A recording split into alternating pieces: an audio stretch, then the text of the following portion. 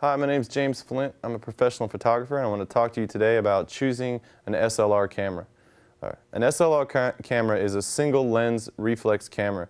This means that it's going to be a camera that has the ability or that offers you the ability to remove the lenses and put on different ones.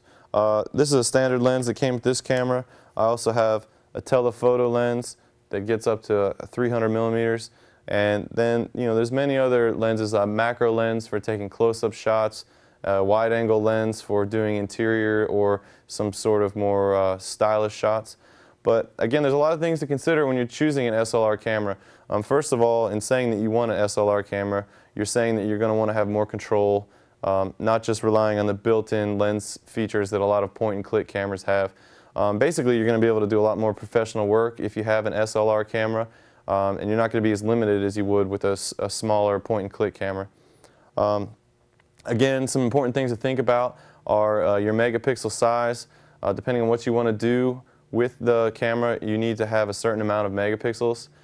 Basically, a general rule of thumb is 2 megapixels or less. You're only going to be able to use these images uh, in a digital format like on email. Um, you know, you put them on a social networking account, but they're not really going to create prints. Uh, anything from about 2 to 6 megapixels is going to allow you to make prints, but only in like the 4 by 6 and 5 by 7 formats. Uh, as you get closer to 6, you can get to where you can print some 8 by 10s. But if you want to do any enlargements, 8 by 10, 8 by 12, 11 by 14s, uh, you're going to need uh, over 6 megapixels with your SLR camera.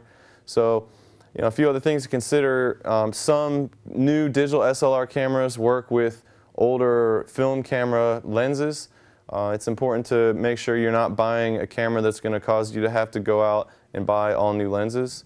So basically you want to think about your megapixels, uh, what type of lenses you already have and what type of lenses you'll be using, and what other plans you have for this camera. And that's how you choose a SLR digital camera.